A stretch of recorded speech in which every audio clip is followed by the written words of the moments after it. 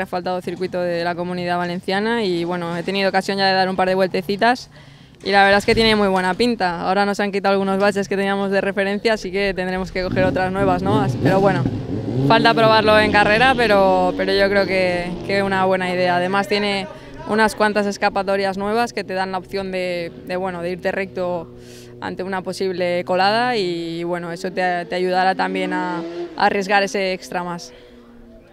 Bueno, sinceramente es una muy buena iniciativa, ¿no? Es, una cosita más a mayores que, podemos disfrutar los pilotos que, de la casa, ¿no? Que vivimos aquí cerca y bueno, pues una cosa más que se suma, ¿no? Cuando yo empecé pues no teníamos esta, estas oportunidades y ahora pues es una oportunidad más para los chavales para que bueno, se sigan curtiendo semana a semana y cojan ritmo de cara a las carreras.